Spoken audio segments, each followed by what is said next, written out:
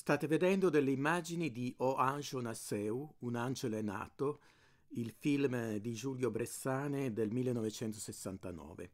Questo film è stato realizzato insieme a eh, Uccise la famiglia andò al cinema, eh, il film che presentiamo in questa notte di fuori orario. Questi film rappresentano molto bene lo spirito di questo ciclo che abbiamo chiamato un film non come gli altri, dopo e oltre la Nouvelle Vague. Nel caso di Giulio Bressane è anche proprio dopo e oltre il cinema nuovo. Questi due film hanno costituito un momento di grande rottura nella, nel cinema brasiliano di quel periodo, furono osteggiati dai rappresentanti del cinema nuovo e misero Bressane e eh, Rogerio Scanzerla che l'anno prima ave- aveva realizzato Il bandito della luce rossa in una condizione di eh, estraneità eh, durissima rispetto a quello che era l'establishment internazionale del, del cinema brasiliano che veniva presentato nei festival.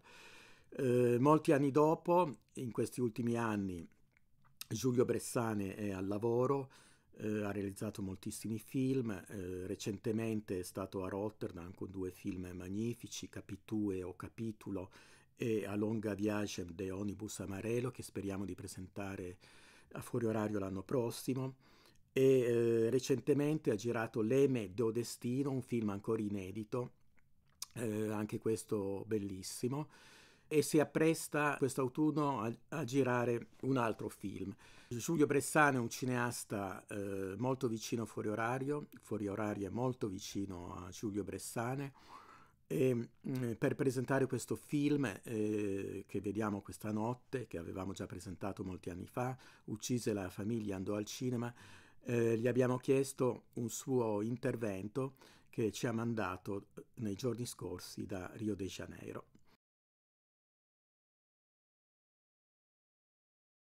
Boa noite. Esse foi um filme que eu fiz há quasi 60 anni atrás. Buonanotte, questo è un film che feci quasi 60 anni fa. Per non perdermi nel labirinto della memoria ho scritto un breve testo che leggo per voi.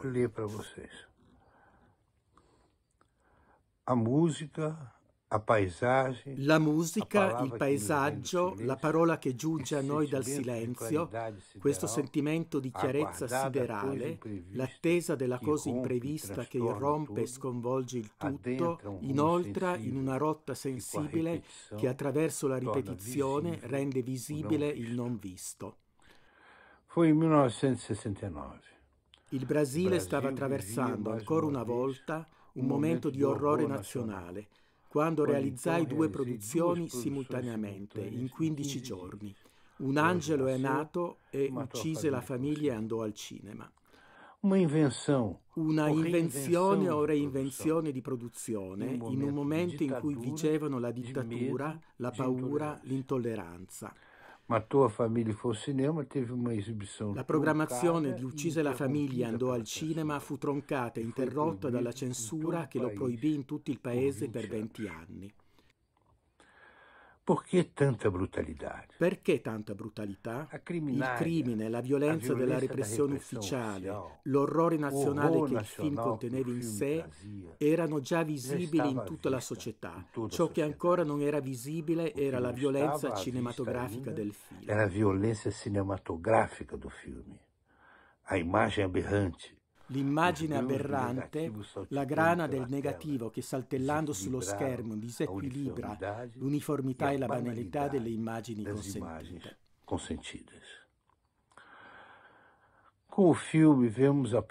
Con il film vediamo uscire dall'interno della grave e pesante cappa il cinema. Un negativo di 16 mm. Il negativo del 16 mm, gonfiato a 35 mm, pratica poco comune per i nostri laboratori a quel tempo, mostra da vicino la bruttezza, l'abbandono, la diseguaglianza criminale dell'abisso sociale brasiliano. do abismo social brasileiro. A textura do filme La tessitura del film, il suo ritmo acquistano rilievo. Il malessere che il film provocò per la mentalità dell'epoca ne causò il divieto di distribuzione. Venne ritirato dalle sale cinematografiche dalla censura poliziesca e fu proibito per 20 anni.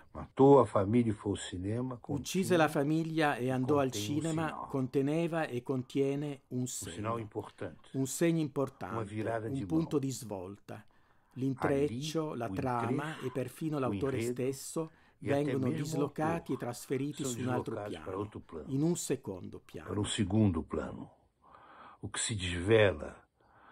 Ciò che si svela, ciò che appare momentaneamente visibile o presentito è il cinema. stesso, il cinema che si occulta, indecifrabile, nel film. Muito obrigado e uma boa noite.